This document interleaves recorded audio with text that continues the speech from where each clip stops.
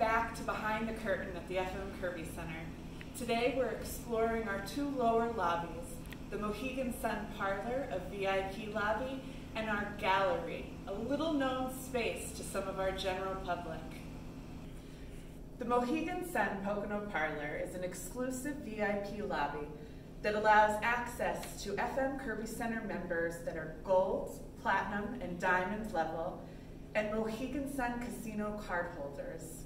They get access to the bar and the drink specials of the night.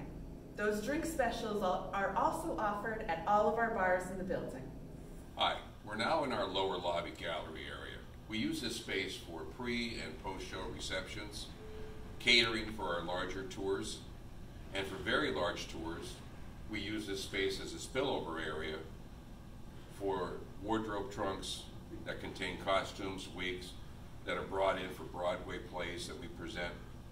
It's also used as a workspace for the tour management, for the company manager, and the other staff that tour with the shows. This space was originally used in 1938 as a children's nursery. It was staffed by a matron. It had children's furniture and various toys for the children to play with. Parents could drop off their children on their way into the movie, and after the movie, obviously, they would come back and pick up their child. Check back with us in our next video in the Behind the Curtains series.